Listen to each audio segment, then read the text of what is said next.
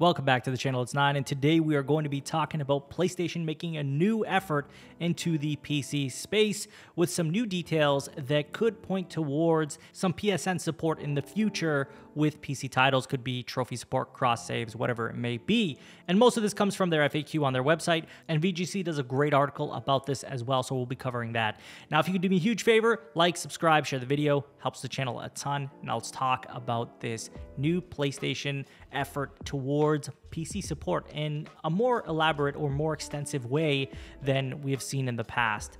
In their FAQ, they talk about trophy support and it says they will not sync with your trophies list on your PSN profile, but they do use the words currently, which implies that the situation has potential to change in the future, which would not surprise me. We've seen job postings for a role in more PC support for their games, and this could definitely be something that gets added down the down the road. And I do think that that is going to be a case.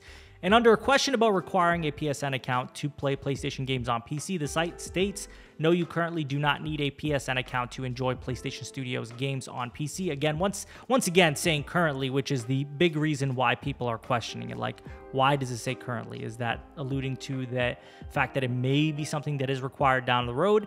We've seen other games do that. You know, could be Bethesda, could be Activision, could be whoever, right? There are definitely games that require you to log in. And I know that Doom was one of those games that had that as well. So it's not out of the ordinary for that to be a thing. And I do think PlayStation will want to do that. Obviously, get more people uh, using their PlayStation Network accounts and uh, probably get more sales if they end up doing their own launcher, which I do think they're going to do their own launcher. So they'll get a bigger cut of the sales uh, when they sell their games.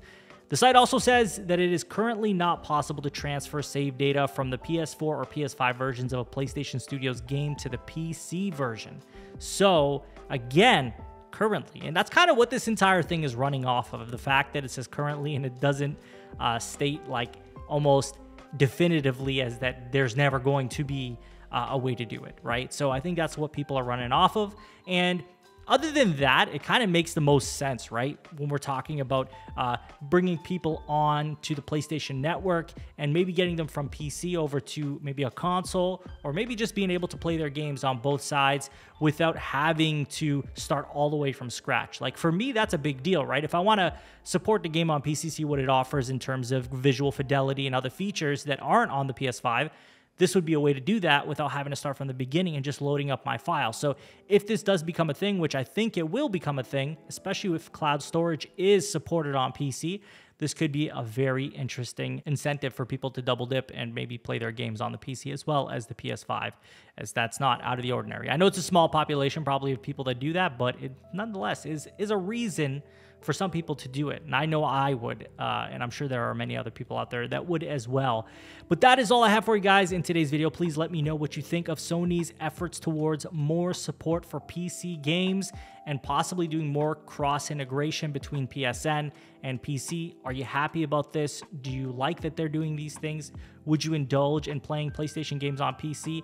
Let me know in the comments. And as always, if you have not subscribed already, subscribe, like, share the video. Helps the channel a ton. I will talk to you guys all on the next one.